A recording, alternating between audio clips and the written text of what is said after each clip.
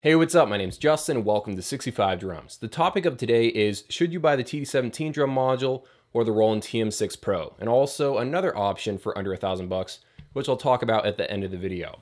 Now, the reason why I want to bring up this topic is because a while ago I got a message from someone saying, "Hey Justin, I've got a conversion drum set. I've already, you know, lined up the mesh heads, the shells, the cymbals. Everything's good to go in the shopping cart, but I want to know what drum module should I buy? I know I can get the TD17 for 600, or I can spend an extra 200 bucks and get a drum module that's labeled Pro. It has individual inputs, multiple outputs. It's got sounds from the TD50. It has all kinds of different things that I want out of a drum module for only an extra 200 bucks. Should I go for the TM6 or should I stick with the TD17? So that's what today's video is all about. These two drum modules, it's not really even like a sound comparison. Unfortunately, I don't have footage of both of these. I got plenty of footage of the TD17. But I only have photos of, of, the TM6 Pro. I got to play it, but I don't have any legit audio of it. But the sounds aren't even really the big distinction between both these drum modules.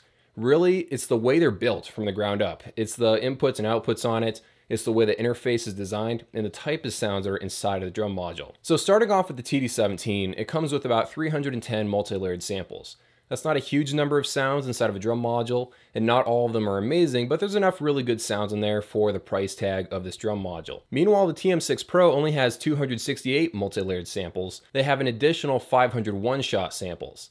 And these sounds are basically mixed to work well with acoustic mic'd drums. The whole point of the TM6 Pro is that you're supposed to use it in a hybrid setup. So you have an acoustic drum set, and then maybe you want to plug in a snare trigger, a kick drum trigger, so you can layer different samples that you recorded yourself, or you can use one of the 500 one-shot samples that are specifically mixed and designed to help beef up your kick drum, your snare. And then of course there's lots of other sounds. You can have like an 808 snare if you want to have a mesh pad to the left of your acoustic set, maybe an electronic cowbell. That's what this drum module is designed to do, and that's why the sounds reflect that. Moving over to trigger inputs, the TD17 definitely wins right here because it has 10 trigger inputs, the ability to handle 10 pads. And you can split all those pads with cable splitters, so basically you can double the amount of pads that are listed right there. Meanwhile, the TM6, it has individual inputs, which is a big win for the TM6 Pro, but unfortunately, you only get six inputs. You can split those to, you know, 12 pads, but that's 12 one zone pads. If you have a regular electronic drum set, that's probably not going to be enough for you. Another really big difference between the modules is the outputs. So the TD17 has bare bones, exactly what you need and nothing more.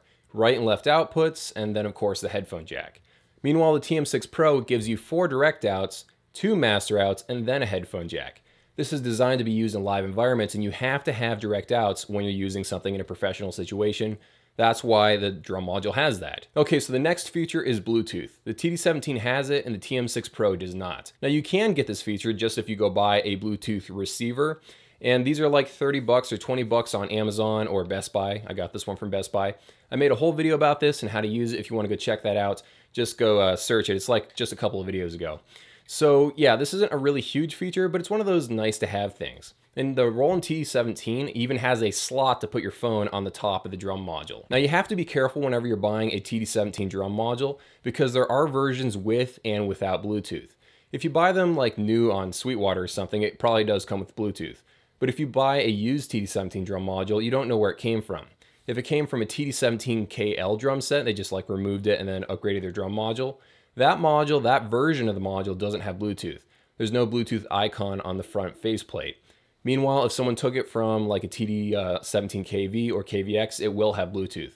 So just make sure you look at the photo and make sure it actually has the Bluetooth icon on the front plate. All right, so now that we've talked about the specs and the guts and the internals of these drum modules, I want to talk about the button placement, how these things are laid out. Now this TM6 Pro and the TD17, they don't even look like each other at all. Even though they're at a similar price point, they look like they were made by separate companies, and the only thing that really says this is a Roland drum module, aside from the logo, is the tiny little screen that Roland loves using on all of its drum modules for some inexplicable reason. On the TD17, it's got more of a classic drum module layout, and they've really started to refine this. They've made so many drum sets that they've made it easy to get around. You don't have to go through a ton of different menus. There's a level button, a user sample button, tuning button, muffling button. I like the way this is laid out. And of course, a little slot up top for your smartphone. Meanwhile, in the TM6, it's sort of trying to draw your attention to certain features that both the drum modules have, but the TM6 makes it more obvious and they want you to use these. So for example, they have three multi-purpose knobs up here. So you can change the pitch in real time. You can, you can change the decay, the volume, transient attack, release, and the multi-effects control. You can still do stuff like that on the TD17, and of course you can import samples onto both of them. I want to make that pretty clear in the video. I don't want to make it sound like the TM6 is the only one that can do that. But you can you can do those features on the TD17, but it's less obvious. Over here you have all these, you know, one, two, three, four, five, six buttons right here.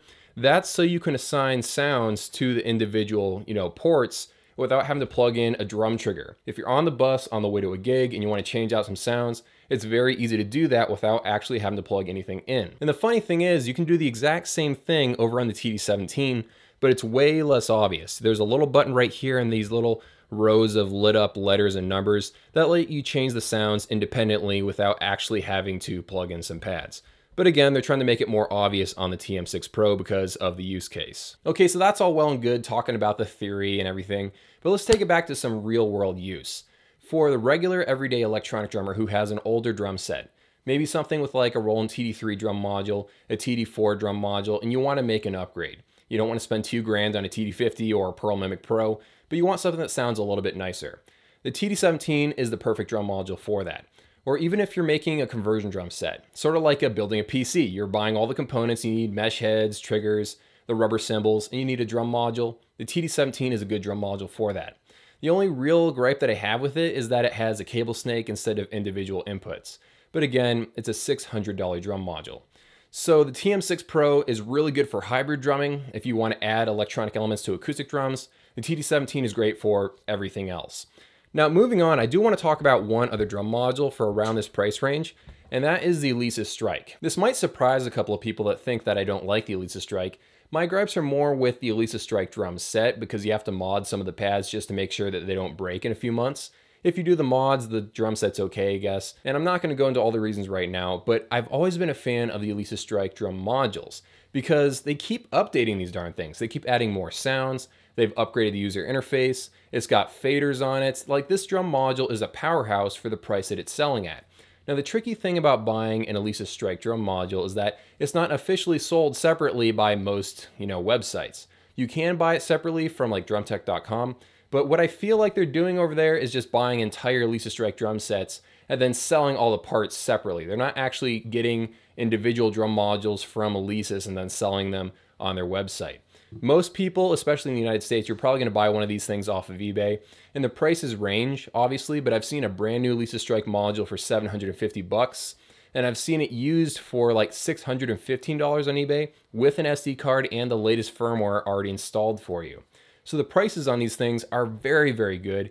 And if you have somewhere around 600 to $800, you should take a look at the TD17 drum module, but you should also take a look at the Alesis Strike drum module because it's a very, very good drum module and it has the best sounds in the class. Okay, so that's it for the comparison. I hope you guys enjoyed it. By the way, just wanted to mention that I did start selling official 65 Drums t-shirts on Teespring. So if you want to go check those out, this is a brand new shirt design that I just made. I'm really happy with it. And I've also got some other different 65 drums stuff over there. Go check out the link below. Anyway, have an amazing day. Thank you guys so much for watching, supporting the channel, and I'll see you in a few.